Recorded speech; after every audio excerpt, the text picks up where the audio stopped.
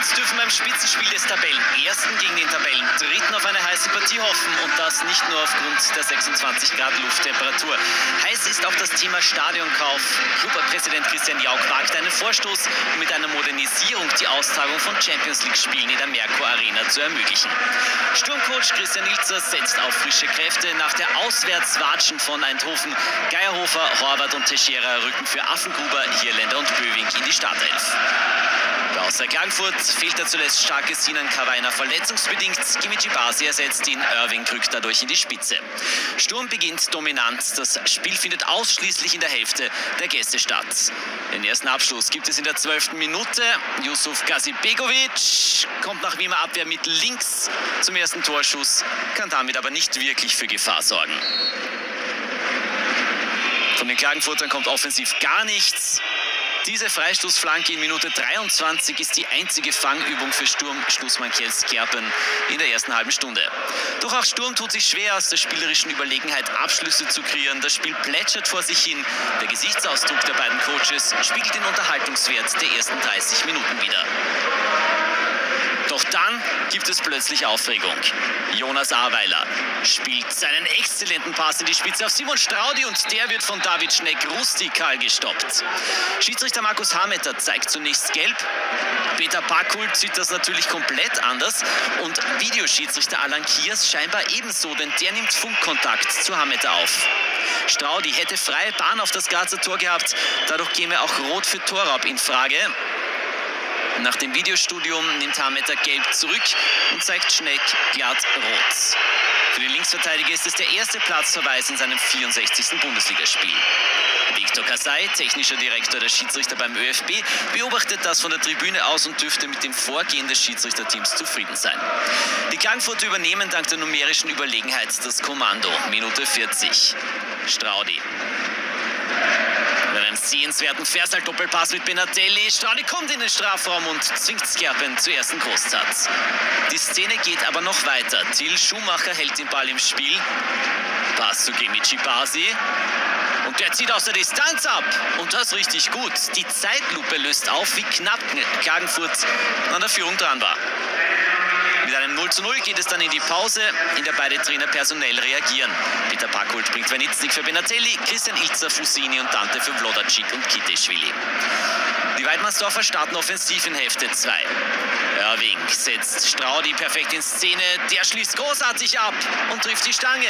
Skerpen rettet im Nachfassen. Simon Straudi, der eine starke Leistung zeigt, erzielt beinahe sein erstes Bundesligator. Nur fünf Minuten später, Eckball des eingewechselten Wernitznik. Svetko kommt zum Kopfball und wieder pariert Skerpen. Der niederländische Schlussmann bringt nicht nur die Klagenfurter Spieler zum Verzweifeln, sondern auch Trainer Peter Backholt. Nach knapp einer Stunde spielt Wimmer den Ball stark in die Spitze zu Zvetko und er bringt das Leder wieder nicht im Tor unter. Die Führung der Kärntner wäre mittlerweile hochverdient.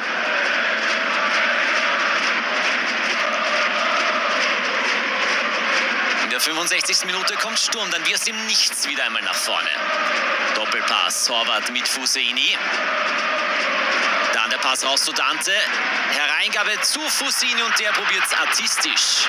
Irländer grätscht nach, wird aber wegen einer Abseitsstellung von Fusini zurückgepfiffen. Fusinis Aktion ist sehenswert, die Abseitsentscheidung aber ebenso klar wie richtig. Doch Sturm schöpft in Unterzahl neun Mut. Angriff in der 79. Minute. Langer Pass von Wüttrich in die Spitze Horvath. Der leitet zu Fusini weiter, der wieder zu Horvath und der versenkt den Ball im Tor. Der Torjubel wird aber hier unterbrochen, denn wieder steht Fuseni im Abseits. Die Kärntner im Glück, doch Peter Packult kann es nicht fassen, dass sein Team mit einem Spieler mehr derart unter Druck gerät. Die Grazer zeigen enormen Siegeswillen. Es läuft bereits die Nachspielzeit. Eckball Horvath. Fusini mit einem Querschläger. Böwingsschuss landet bei Gruber und der trifft die Latte. Sturm ist trotz der einstündigen Unterzahl näher am Sieg dran. Affengruber hatte die drei Punkte auf dem Fuß, doch die Joker stechen nichts.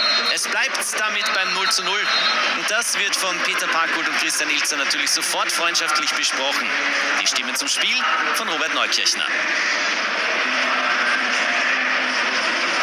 Angesichts der Chancen am Schluss muss man sich fast ein bisschen ärgern, dass es trotzdem nur ein Punkt wurde, obwohl es so schwierig war.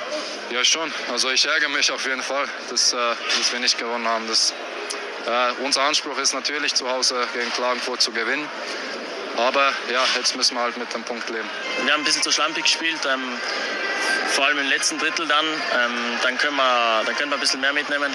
Aber so, ich glaube, wenn wir vor dem Spiel gewusst hätten, dass wir einen Punkt mitnehmen, ähm, dann passt es schon. Wo wir uns dann gefunden haben, äh, wo dann auch enorme Energie von den Zuschauern gekommen ist, in dieser Phase waren wir dann auch mit einem Mann weniger. Wenn ich jetzt äh, an die letzte halbe Stunde denke, fast näher am, am, am Sieg als Klagenfurt. Von dem war es ein schwieriges Spiel für uns.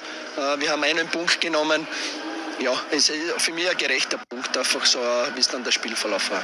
Fünf Punkte nach drei Spielen ist, glaube ich, äh, ganz ordentlich für uns. Äh, und es ist noch trotzdem Luft nach oben, gerade im Spiel mit, mit dem Ball nach vorne.